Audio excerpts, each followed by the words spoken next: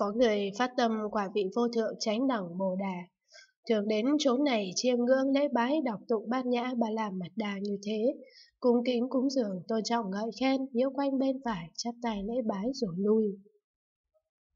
Trời tịnh cư cũng thường đến đây chiêm ngưỡng lễ bái, đọc tụng, cung kính cúng dường, tôn trọng ngợi khen, nhiễu quanh bên phải, chắp tay lễ bái rồi lui. Có các loài rồng dược xa đầy đủ oai đức lớn cho đến người chẳng phải người vân vân cũng thường đến đây chiêm ngưỡng lễ bái, đọc tụng, cung kính cúng dường, tôn trọng ngợi khen,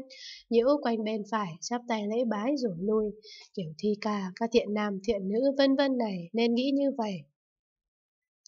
Hiện giờ ba ngàn đại thiên quốc độ và mười phương vô biên thế giới khác, tất cả trời rồng, cho đến người chẳng phải người vân vân, thường đến đây chiêm ngưỡng lễ bái, đọc tụng bát nhã ba la mật đa sâu xa.